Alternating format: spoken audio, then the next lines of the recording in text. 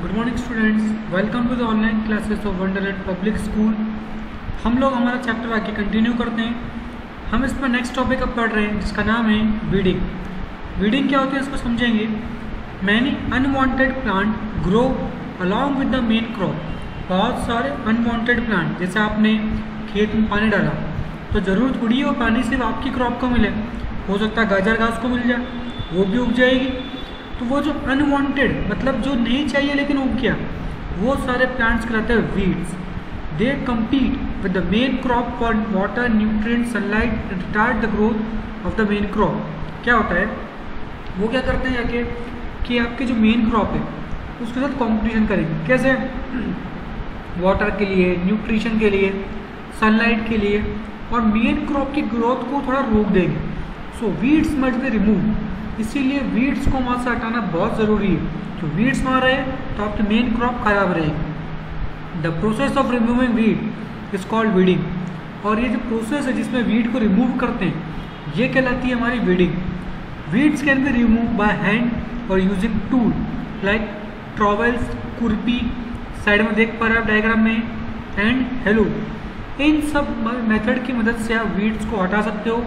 Nowadays, farmer use chemical called weedicide to destroy weed आजकल के time पे farmer weedicide नाम के केमिकल को यूज़ करते हैं, जिसकी मदद से वीड्स होती है ना, अपने आप ही मर जाती है। नेक्स्ट है crop protection plants can be protected from pest कीड़े मकोड़ों से प्रोटेक्ट करना है। स्प्रेइंग पेस्टिसाइड वो दवाई जो पेस्ट को मारे। इंसेक्टिसाइड वो दवाई जो इंसेक्ट को मारे।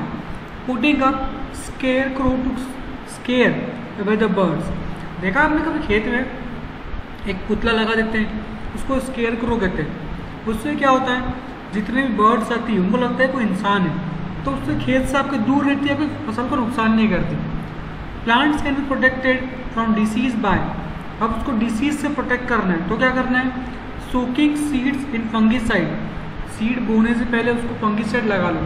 फंगिसाइड मतलब फफूंद नहीं आएगी उस पर एंटीबायोटिक्स छिड़क दो, ताकि आपकी कोई बीमारी ना लगे क्रॉप में। Spraying fungicide antibiotics on standing crop.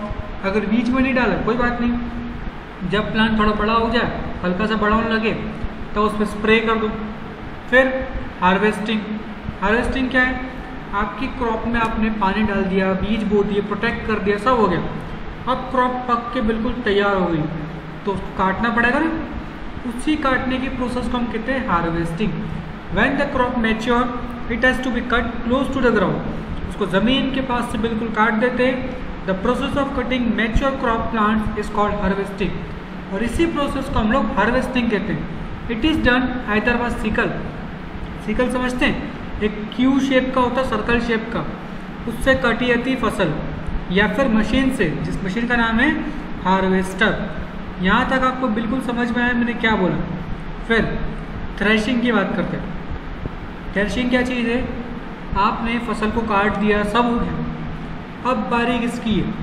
फ़सल तो कट गई, लेकिन उसमें से उसके दाने काम के प्लांट थोड़ी काम का। गेहूँ की बात करो, गेहूँ की फ़सल देखी? उसके ऊपर जो गेहूँ लगते वो काम के उसका प्लांट क्या काम आएगा। तो हार्वेस्टिंग में तो आपने प्लांट को भी साथ में काटा। लेकिन थ्रेशिंग में हम गेहूँ को अलग करेंगे उन सभी प्लांट से।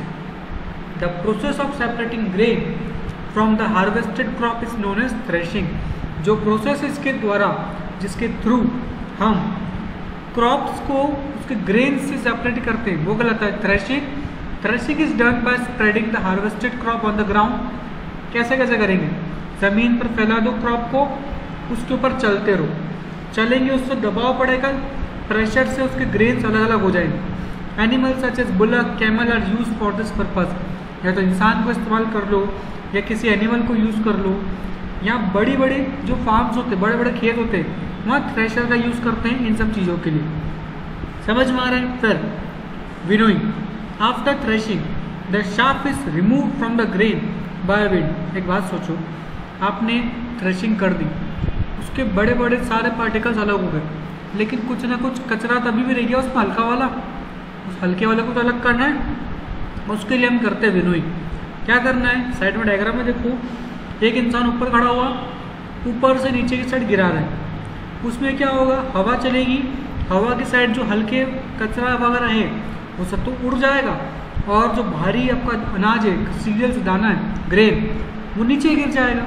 After threshing the chaff chaff मतलब कचरा is remove from the grain by wind this is known as winnowing in this process the threshed grains are made to fall from a certain height threshing वाले grains को ऊपर से गिराना है the seeds being heavier fall directly on the ground जो भी seed भारी होंगे, अपने आप नीचे गिर जाएँगे वाइल द लाइट शार्प लेकिन जो कचरा है, जो हल्का है, वो हवा की वजह से उससे दूर चला जाएगा।